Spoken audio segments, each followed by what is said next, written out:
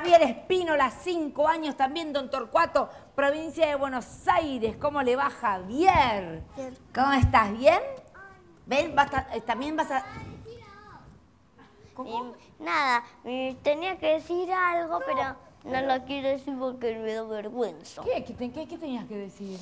Que había una chica que no tiene, tiene el corazón enfermito y que y necesita que alguien escuche esta noticia para que si alguien encuentra un muerto que le saque el corazón para ponerle uno nuevo Bueno. a la chica. ¿Cómo no? Después nos vas a dejar todos los datos, nos va a dejar tu mamá todos los datos.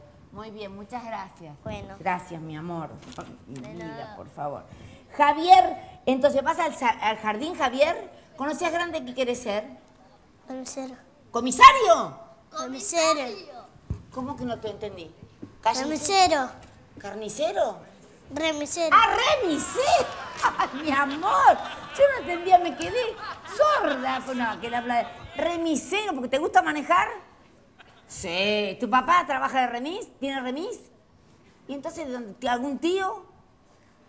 ¿Algún pariente? No. ¿En el colegio te gusta una chica? Tampoco. ¿Y a qué te gusta jugar a vos? A la mancha. ¿A la mancha? A mí también me gustaba mucho la mancha. Y siguen corriendo con, la- con las cosas y ellas me encanta. Oye, ¿y qué nos vas a recitar? A él le gusta todo lo gauchesco, me parece. ¿Es verdad que haces un recitado gauchesco? Ay, vení, vamos a hacerlo, vení, vení. Vení, Javier. Vamos a hacer recitado gauchesco para toda la gente que te está escuchando. A ver, vamos, Javier. La noche. Buenas noches. Buenas noches, dijo. No, la, Ah, la- la- una blusa. ¿Cómo, amor? Una blusa. eh. Una glosa. Ah, una, una glosa. Bueno, vamos a escuchar la glosa. A ver, amor mío.